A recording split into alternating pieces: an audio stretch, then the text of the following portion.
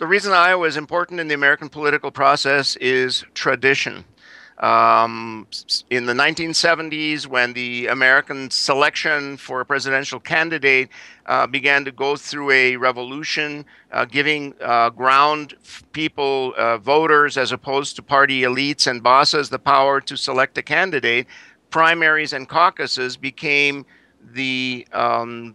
you know the way that this was done and iowa managed to produce some spectacular results with unknown people such as jimmy carter suddenly emerging from Iowa and becoming the contender for president and actually winning the election. And that made Iowa the go to place, and candidates began to come here. It's a small state, so it's easy for candidates without a lot of money to campaign in Iowa and to try and sell their, their product here and I've seen them for 41 years, coming here every four years. Uh, and I must say that you could never do this in a state like California or New York or Texas or, or even Florida or, or other large states. It's a small enough state that you can realistically, um, without being powerful, famous, and rich, uh, make a case for your, yourself as a candidate.